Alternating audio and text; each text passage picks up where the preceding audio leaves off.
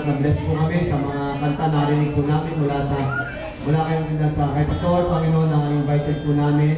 Salamat po at Lord, alam namin na patuloy na sa darating na taon ay pagpapalain mo pa kami, Panginoon. There are greater things, Panginoon, na in store for us, Panginoon. Hallelujah. Salamat po, Lord, at pag sa pagka- pagkain namin. Sa hapon ito, we pray na patuloy mo kami busugin at pagpalain ang aming pisikal na katawan. Salamat po muli sa pangalan ni Jesus. Amen.